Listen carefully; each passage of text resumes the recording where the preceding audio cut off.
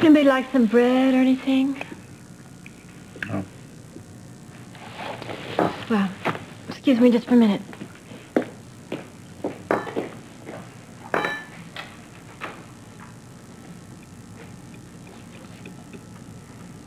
It's been a long time since I've had Dad's meatloaf.